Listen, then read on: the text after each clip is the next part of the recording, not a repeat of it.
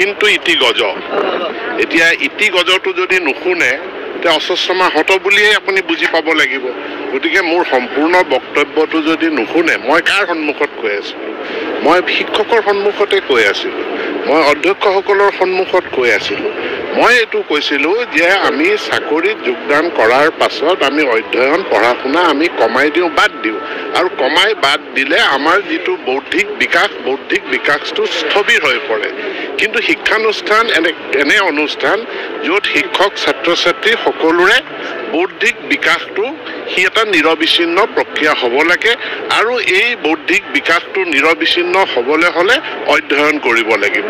কিন্তু এইটোও সত্য যে একাংশ শিক্ষক শিক্ষয়িত্ৰী বিদ্যালয় মহাবিদ্যালয় দুয়োটাতে আছে য'ত আমি সঘনাই আমি প্ৰতিবেদন পাই থাকোঁ যে তেওঁলোকে নিয়মিতভাৱে শ্ৰেণীসমূহ নকৰে। তেওঁলোকে বিদ্যালয়লৈ মহাবিদ্যালয়লৈ নাযায়।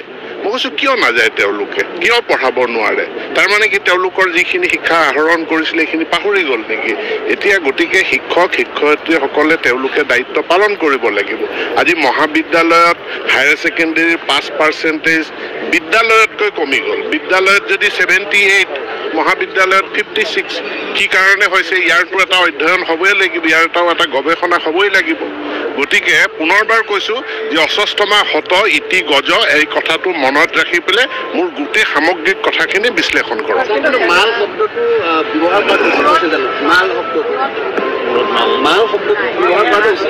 নহয় সেইটো চব সেইটোত আমি খুব মই সৌহাৰ্দ্যপূৰ্ণভাৱে কৈ গৈছিলোঁ।